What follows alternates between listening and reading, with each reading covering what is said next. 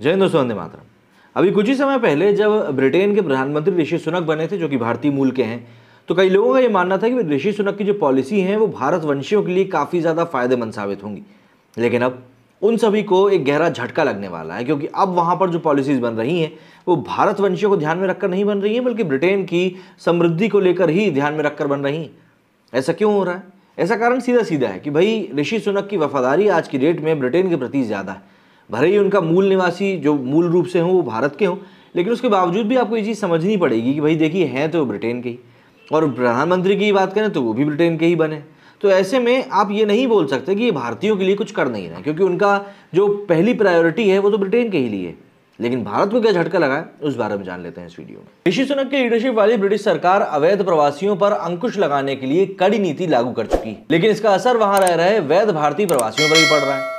पिछले चार साल के दौरान ब्रिटेन के गृह मंत्रालय ने लगभग साढ़े चार लाख व्यक्तिगत आवेदनों में से लगभग तिरसठ हज़ार प्रवासियों को विभिन्न सरकारी विभागों को नौकरियाँ नहीं देने के आदेश जारी किए और इनमें से इक्कीस हज़ार भारतीय भी। कई सारे मीडिया पोर्टल्स ने जब अलग अलग सरकारी विभागों और प्रभावित भारतीयों से डिटेल में बात करी, उनसे पड़ताल करी तो सामने आया कि रंगभेद और नस्ली पहचान के कारण भारतीयों को अवैध प्रवासी मान लिया जाता है। उनके दस्तावेज़ खारिज कर दिए जाते हैं।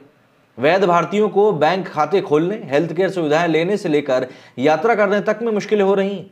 दूसरी ओर, भारतवंशी गृह मंत्री सुएला ब्रवरमैन ने सुनक की नीतियों का समर्थन करते हुए हाल ही में बयान दिया है कि अवैध प्रवासियों को रवांडा मतलब कि अफ्रीकी देश भेजना चाहती सरकार के इस रवैये से उत्साहित श्वेत नस्लीय संगठन प्रवासियों और शरणार्थियों पर लगातार हमलावर भी होते जा रहे हैं। ब्रिटेन में नीतियों का आकलन करने वाली सरकार की ही एक रिपोर्ट में स्वीकार किया गया है कि दक्षिण एशियाई लोगों का विशेष करके भारत से आने वाले प्रवासियों से भेदभाव हो रहा है।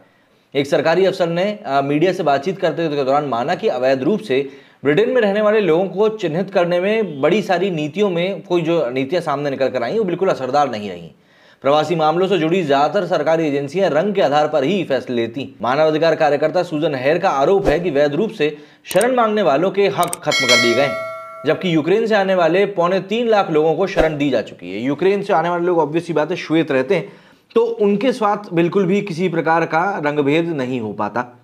लेकिन भारतीय, जो कि वहाँ पर रह भी रहे हैं, कायदे से, सर्विस भी दे रहे हैं और सलीके से भी रहते हैं, उसके बावजूद भी सिर्फ़ और सिर्फ़ रंग के आधार पर उनके साथ में ये सब चीज़ें की जाती हैं। अब यहीं पर मुझे एक बात और खटकती है। जब कोई व्यक्ति भारत छोड़कर विदेश में नौकरी करने के जाने की सोचता है तो वो सोचता है कि उसको वहाँ जाकर मूलभूत सुविधाएँ ज़्यादा अच्छी मिलेंगी, ज़्यादा पैसा मिलेगा। लेकिन उसके बाद फिर एक ये बात भी आ जाती है कि अगर हम लोग परचेस पैरिटी की बात करें तो जो चीज़ यहाँ पर एक रुपए की पड़ती है, वहाँ पर साढ़े तीन रुपए की पड़ती है। और इसी अनुपात में पैकेज भी रहता है वहाँ का। यहाँ का दस लाख, वहाँ का पैंतीस लाख। लेकिन फिर एक चीज़ यह समझ में आती है कि यार, वहाँ पर जब इस प्रकार के रंगभेद वाली चीज़ें चल रही हैं, ऑस्ट्रेलिया में हम देख ही रहे हैं कि आए दिन हिंदुओं पर हमले हो रहे हैं। इसके अलावा अगर हम देखें तो ब्रिटेन में भी आए दिन इस तरह की घटनाएँ होती ही रहती हैं। तो जब आपको पता है कि आपके पास खुद एक ऐसा देश है जहाँ पर कि आप सर्वाइव कर सकते हो तो फिर ऐसी जगह पर क्यों जाकर रहना जहाँ पर कि आपको मार मार के कुत्ता बनाया जा रहा है? भाई ऑब्वियस ही बात है, ये सभी सवाल हैं जो कि एक जहन में आने चाहिए, क्योंकि आप सिर्फ़ वहाँ पर अपने लिए नहीं जा रहे हो बल्कि आप अपने परिवार के लिए भी जा रहे हैं। आपका कहना इस बारे में? कमेंट करके ज़रूर बताइएगा। मेरे वीडियो फ़िलहाल इतना ही। जय हिंद, जय भारत।